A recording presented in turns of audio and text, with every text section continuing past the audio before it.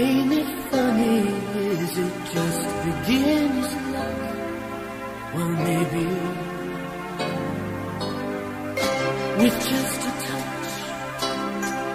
Two different people from such different worlds apart have touched each other's heart like candles in the dark.